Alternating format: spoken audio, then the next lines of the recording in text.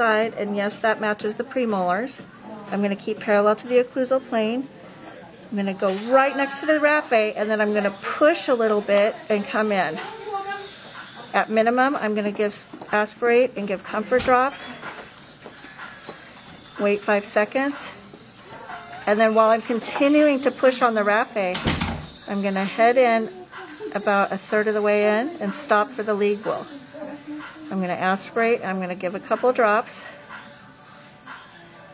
About a third of a stopper full at the most. Doesn't take very much. We're going to wait five seconds. And then we're going to head in the rest of the way. You want to be about two thirds to three fourths the way in and contact bone. Gently let off the bone. Aspirate. It's negative. You're going to give comfort drops. Wait five seconds. And then you're going to deposit. And I'm going to stop short of the whole car cartridge so he's not too numb.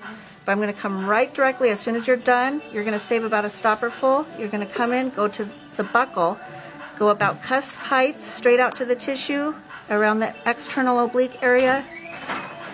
Little pinch. This one can be a little pokey. I've just covered the tissue, aspirate, it's negative.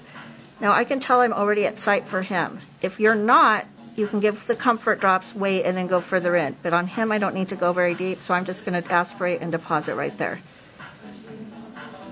Okay. Too bad it had